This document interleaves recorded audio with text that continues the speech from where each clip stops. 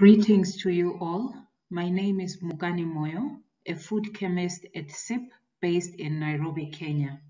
I will present on a study which was conducted in Ghana and Uganda on consumer preference testing of boiled sweet potato using the tricot approach.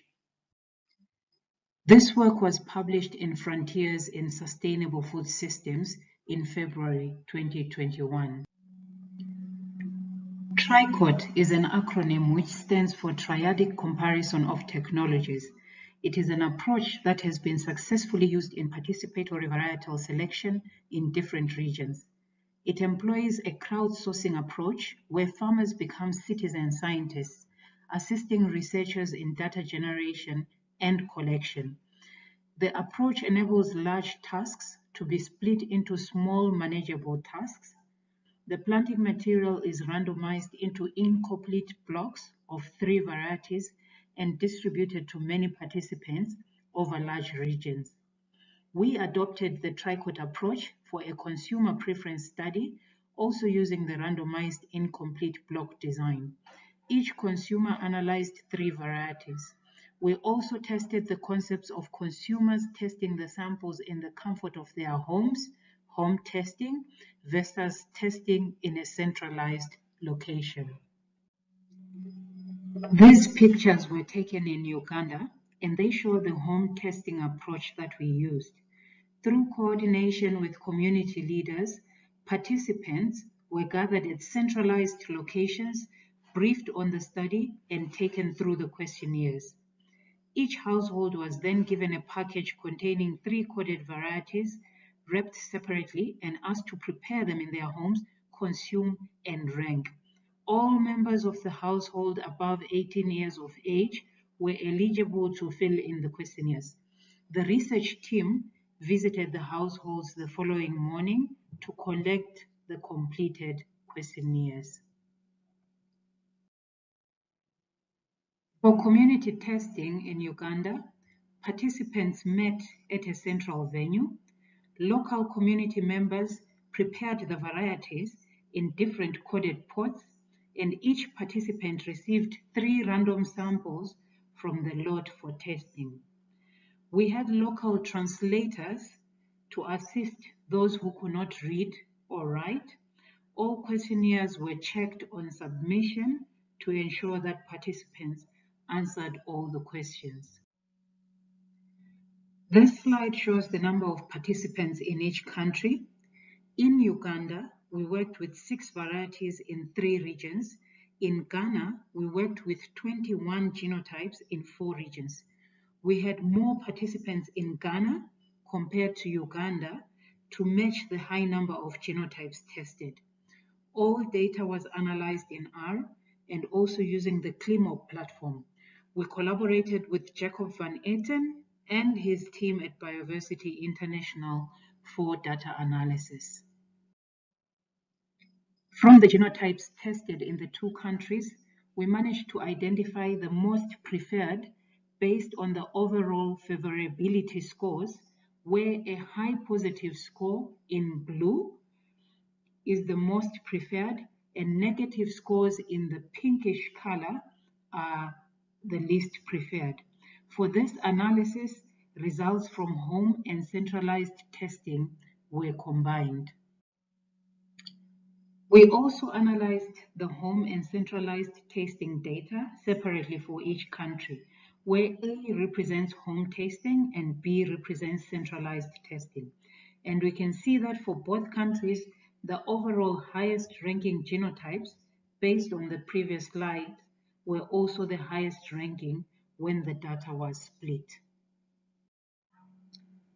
The research tools also allowed the participants to describe each sample in their own terms, and we then conducted a sentiment analysis to identify the most common descriptors.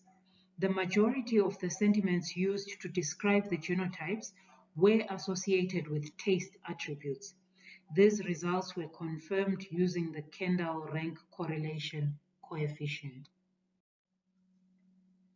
The geographic and gender segmentation were also included in the analysis as variables and they did not have any effect on the consumer preferences reported. The same also goes for the flesh color of the roots. In conclusion, using the tricot approach, we managed to identify the most preferred varieties in each target community for both countries. To our knowledge, this is the first report where tricot is used in a consumer preference study.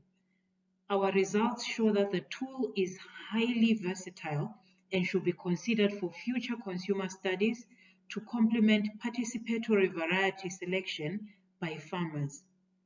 In this way, varieties that meet farmer expectations for superior agronomic characteristics and consumer expectations for favorable sensory attributes can be identified for release in different regions.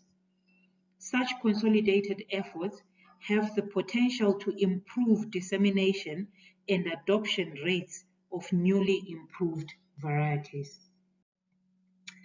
We would like to acknowledge the CG research program on roots, tubers, and bananas for funding this work.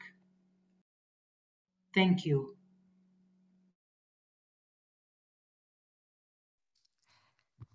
So thank you very much, Mukani uh, and the CIP teams for um, consolidating this presentation. As I mentioned in the, in the beginning, in the introduction, this was prepared as part of the RTB Foods virtual annual meeting uh, that took place uh, last month. So the format is a bit shorter than, uh, than usually uh, expected in, in our webinars. Um, but um, but we thought that it was it, it, deserved to be to be shown.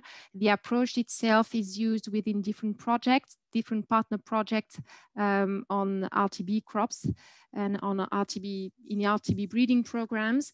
Um, so we we thought that it deserved to be to be shown in during a webinar um, so we we don't have Mukani. Mukani was not available uh, to interact with you today, but we have uh, Reuben Ssali, who is a, a, sweet potato breeder at CIP uh, Uganda, and uh, uh, Reuben.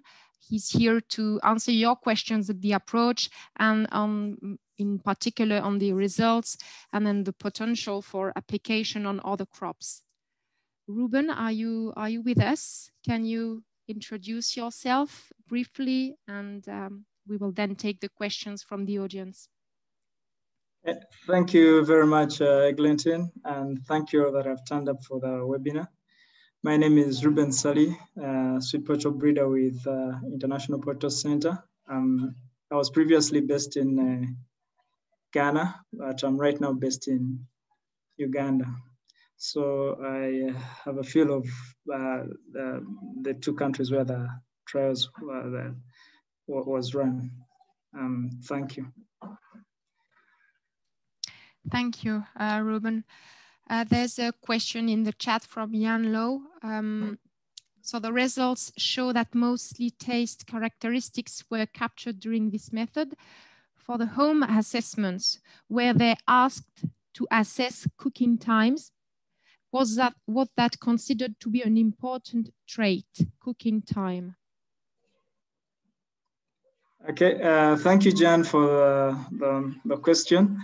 Um, the the tricot uh, method, um, we didn't necessarily ask the farmers or the consumers to um, consider cooking time. We just asked them to cook them according to their normal practice. Uh, the tricot method is, uh, is tailored towards uh, um, uh, riding on that variability um, across, um, if, if, if the variety was cooked and you cooked it much shorter, uh, you cooked it your usual time, but which is much shorter than what is required by the variety, uh, your results would be able to tell us that you didn't like it and that that was that way um, the variability would be captured. So we did not standardize the most especially the home testing. We did not standardize the cooking time. Although uh, when we were testing them in the community, all the uh, the varieties were cooked at the same time. Uh, but also our uh, ongoing research is showing that um, variability, cooking time is, uh, is a very important factor uh, concerning, is a very good, is a very uh, important factor concerning most especially the firmness uh, of the variety. Thank you, Reuben. Um, I hope it's, uh, it's okay for you, Jan. Uh, if you wish to ask something more, please feel free to direct ask another question to, to Reuben. Um, there's a question from uh, Gerard. Uh, Gerard is asking, what is the number of clones that can be evaluated using this tricot method? Um, the, the tricot method, partly, part of this study was to try and uh, try to uh, get those optimum numbers. Uh, but uh, right now we have developed an interactive tool where you can be able to input the number of varieties you want to test uh, so that it can be able to help you estimate the number of farmers you want. It can also help you estimate, uh, in case you're going to plant, uh, the number of planting materials per variety you might need. So uh, this uh, part of this study was to try and come out with some of those parameters. And uh, right now, when you go to the ClimMob platform, uh, you can be able to find all these parameters. So you can tailor your study according to maybe the resources you have of the number of, of, of, of farmers you want to reach, or you can also tailor it according to the number of varieties. Uh, for instance, uh, for 12 uh, varieties, when you use the interactive tool, you realize you might need um, um, the, the, variety, each variety might need to appear on 63 farms, and in the end, you will have to be having around 348 farmers.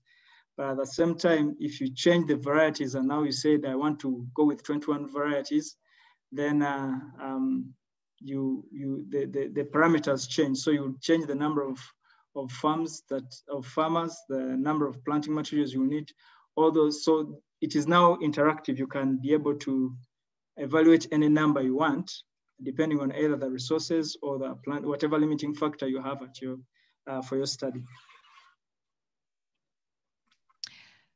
Uh, Gerard, as you know, is a work package five leader um, with uh, Alexandre Bouniol and uh, Bela Teeken as co-leaders. So I think there's a lot uh, a lot of um, lot of knowledge and a lot of uh, tools and methods to to to learn from this tricot approach. Gerard, do you want to ask something more or to to bring precision? Yeah, yeah, yeah uh, Eglantine, thank you very much. Uh, you've just introduced it, and I think tricot is one of the methods that we are introducing in the guidelines that we are in the process of elaborating. So that's why I wanted to know more about it. And uh, thank God we have Bela among us, Bela who has uh, a very good knowledge also on the tricot. So thank you very much.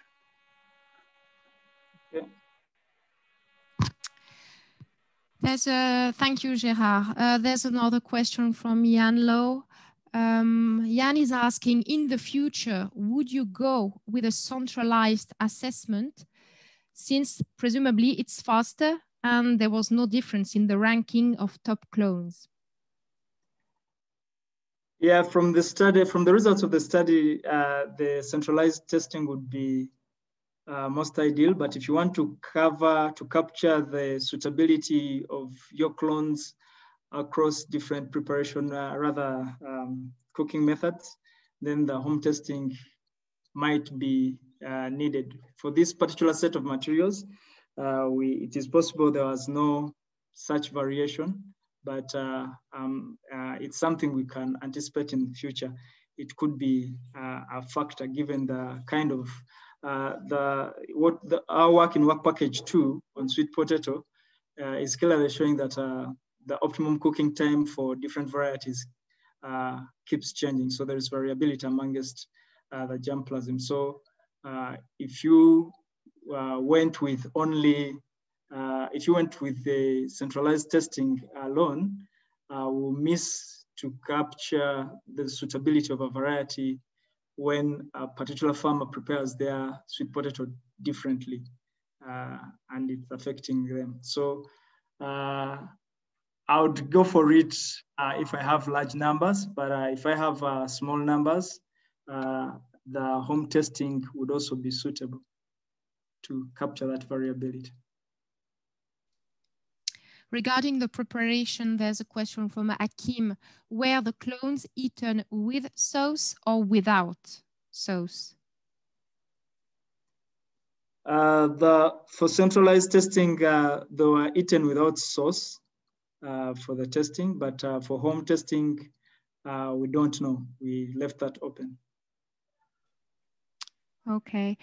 Um, a question from Didier regarding the number of participants needed to perform tricot uh, methods. I think it's a, a, minimum number or an optimal number. Didier, do you want to ask your question directly to Reuben? Yes, yeah, it's concerning the minimum number of participants need to perform tricot.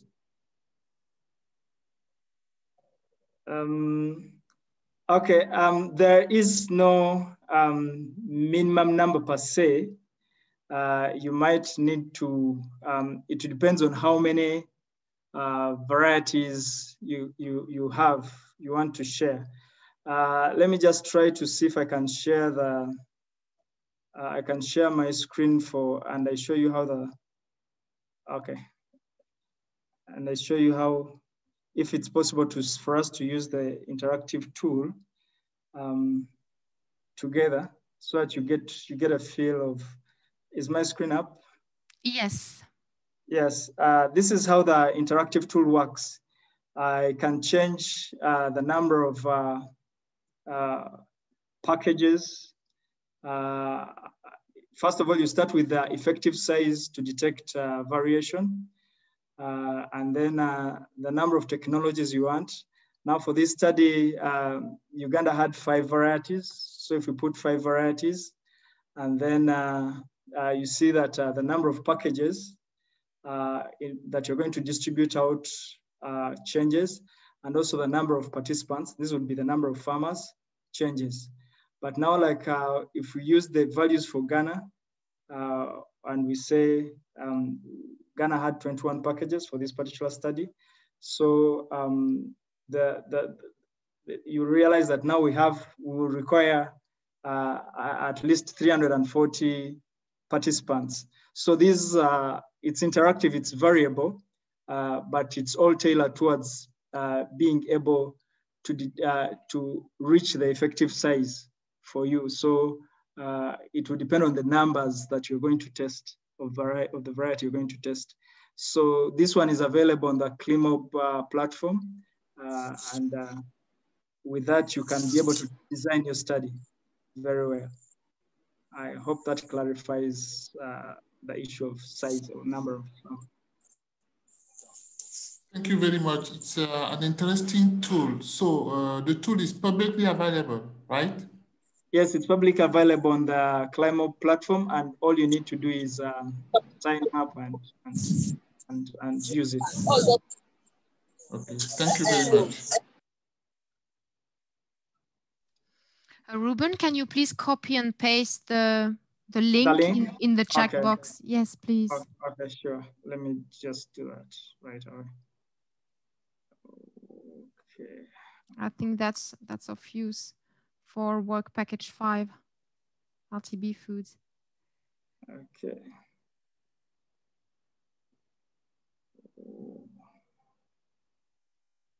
Oh, I don't know, I need to stop sharing. Uh, okay, right here, got it. And then I'll. Thank you. Um, very interesting indeed. Um, there's a question from Enoch.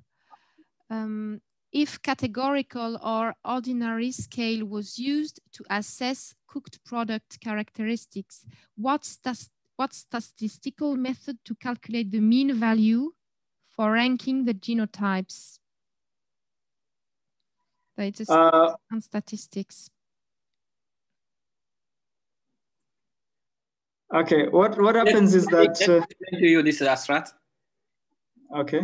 Yes, if you are used for the response uh, for the, the product, like uh, if you go for tests, sweet, bitter, or um, somewhere, So how you how you, you know the reporting at the end, you are going to be at a mean value for different um, respondents. So this categorical or ordinary scale. So how you do mean? Do you think a mean, making a mean of like bitter and sweet is appropriate statistical to report or uh, I have some, some issue of the statistical methodology it was used to rank the genotypes. Okay, um, the, the, the, the, the, geno the method for the scores is simply asking the, the farmers or the consumers who, which is completely untrained panel, they're just going to tell you, I like this, I don't like that. Remember you have three varieties. By, time, by someone telling you, uh, this is my best and this is my worst, they have already ranked the entire set of three varieties. So you're using the ranks uh, to be able to uh, measure the favorability. That means the likelihood of uh, a variety coming out on top or being a winner or being a loser. So it's, uh, it's the mean wouldn't, wouldn't be a good representative of a, of a rank because uh, you'd have, you'd eventually be out of the three, uh, it means almost everything would have, would be scoring. Uh, if, if you got a mean, everything would be uh, scoring the same. But here, with the ranking, uh, if a variety goes head to head on this farmers, uh, on the, with this consumer who evaluated it, it was a winner. But then in another consumer, it was the worst or the, the loser.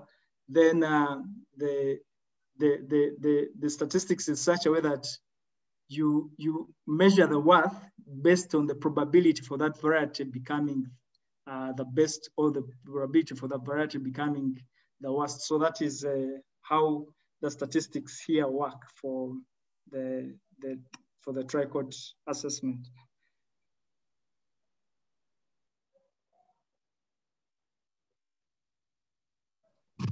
Is it uh, is it okay for you, Ashrat?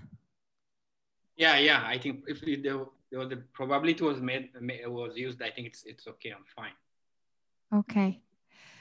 Um, so Reuben has just shared the link uh, to the tool he showed. He shared on his screen, and there was a, a remark from Jan Low asking to access um, how this tool was built, so the statistics behind and the hypothesis behind. And Bela shared an, the, the article, um, the, the Steinke, Steinke et al. article. Oh, sorry. Uh, Miriam, your, your mic was open, so I just uh, mute your mic. Yes, Reuben, you want to, to bring some more information on this uh, paper? Well, what the paper highlights is uh, um, the effective size of, uh, it, it works with uh, the effective size of the, uh, in order for you to be able to effectively use probabilities or the ranks to uh, separate the, um, the technologies. That's what the, the, the paper is all about. And lucky enough, it is it used sensory. So um, it, it is it is very helpful. Bela, do you want to bring some more information uh, your, from your perspective? Because you've been using tricot method on cassava clones in Nigeria. Yes, of course I can do that. Thank you. Um, we have indeed been using uh, um, tricot for field trials. And um, we you can there's no fixed also there's no real fixed uh, ratio between the number of technologies and the participants it's it depends also on what you want to get out of it for example if you have 30 varieties as our in our case uh, and and you want to know which 50% of those varieties is better than the other 50% then you go, can go with lesser numbers then you can have 30 varieties and maybe uh, 300 or 300 farmers. But if you want to know something more uh, specifically and have more detail in the in the in the, in the, in the data set, And, and if you also want to have more sub detail in the subsets, if there are different agroecologies in, in, in involved, which is not, or in the case of consumer testing, there will be different, uh, different uh, uh, cooking methods or different ways of preparation. Then you have to go up with your numbers or you have to go down with your varieties. So if, if I have 30 varieties and I really want to have detailed information, you will probably have to go to 800 to 1000 uh, participants. So it depends how, how granulated you want to have the, the how, how detailed you want to, to the information you get out of it.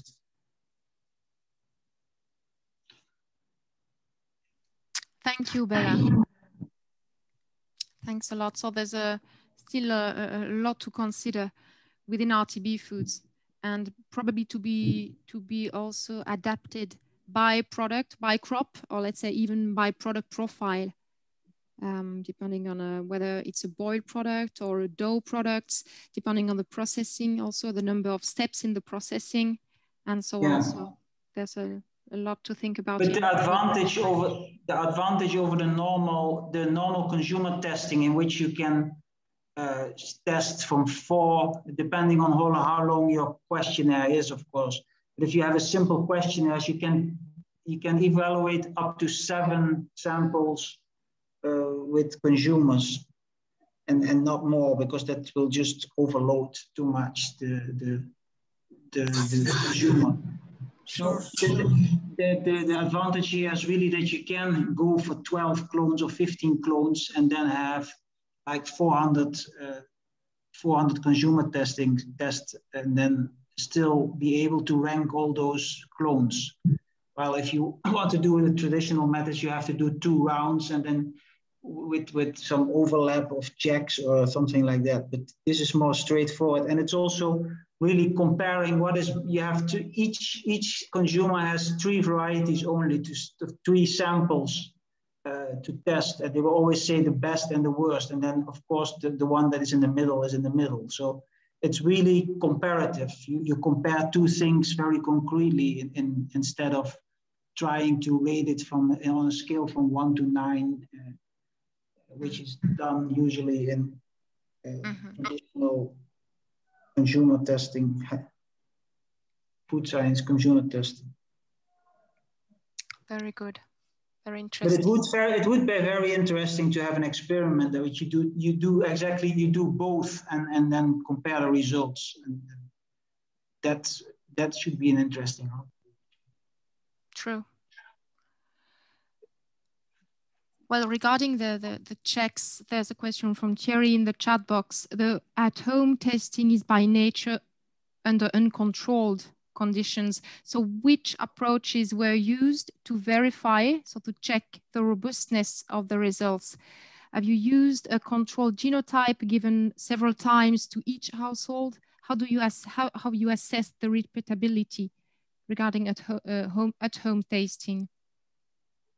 That's a question for Reuben. Yeah, um, the the the very nature of the of the of the tricot, the way the trial is designed is uh, not only the check, but almost all the test varieties are being repeated because uh, these uh, combinations uh, of, of, technology options keep repeating. So uh, you can find like um, uh, almost a variety was in a package, let's say like 20, across 20 farms or 20 by was tested by 20 consumers. But each of those consumers is having separate uh, packages around. So by repeating the, uh, you remember we did, uh, we showed results of the joint analysis and then also uh, uh, home analysis separate and then also uh, the, and the ranking didn't change. So that shows some kind of, repeat, of repeatability and robustness of, the, of our results. Good. Is there any other question for Reuben, for the CIP teams in Ghana and Uganda? Any other remark or suggestion, proposition? Another question from Jan. What is the cost of Tricot compared to the traditional approach like mother-baby trials? Um, that is uh, something we are still investigating. Uh, we have just collected the, the first round of data from uh, the team in Ghana with the team in Ghana, and uh, we can share. We can uh, we can share after we repeat the the experiment, the cost. Uh, but this was a real, not not necessarily. this this particular study was for sensory, but we have contacted now a study where we are uh, farmers are planting, are growing, and then also ranking the varieties. So that will give us a better try, a, a better, uh, better results for that. So far right now, um, we don't have uh, an, a, a fair comparison of the prices, although we suspect we have more data points from the tricot uh, uh, method approach, which means uh, uh, we're likely to be, if you to measure by uh, cost of, of data points, uh, it's likely tricot to give us more, but uh, we can't just assume that. So we will be sharing the results in the near future.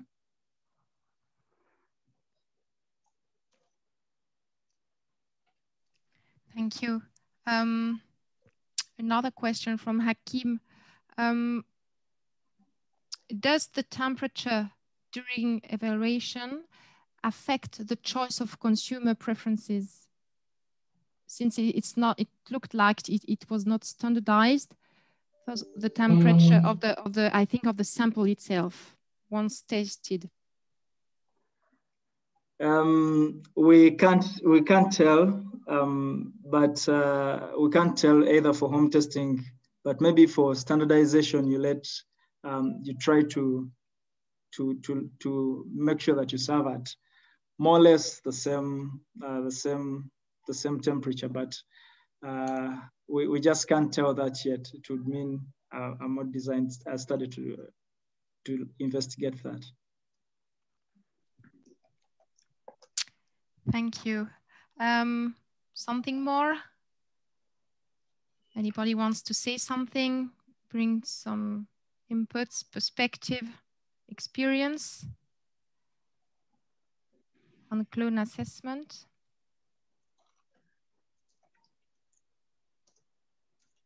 Well, it's more than time, so thanks. Uh, uh, thanks a lot, Reuben. Thanks uh, to the team, to the CIP teams in uh, Ghana and Uganda. Thanks to Mukani for preparing this presentation. Um, so very good. Um, thanks, Reuben. Do you want to say something before we conclude?